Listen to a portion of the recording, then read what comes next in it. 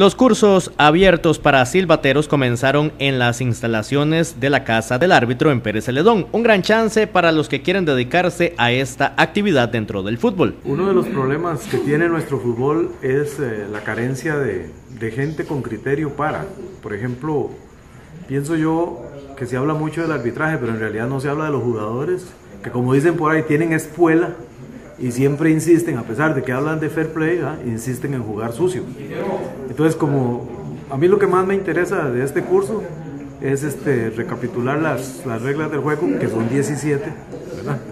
y hasta hoy, no sé si las habrán variado, pero sobre todo tener criterio para poder este, entender mejor el juego. Tener claro las reglas es un aspecto muy importante dentro de este curso. Y lo otro, en un afán de que el juego transcurra, eh, ayudándole nosotros a los árbitros. Eh, es muy difícil las decisiones que los árbitros a veces deben tomar decisiones en menos, en menos de un segundo. Y a nosotros, nosotros, este, espectadores, eh, opinamos de inmediato. Y todavía cuando en televisión vemos el juego nos damos cuenta que nos equivocamos y no queremos reconocerlo.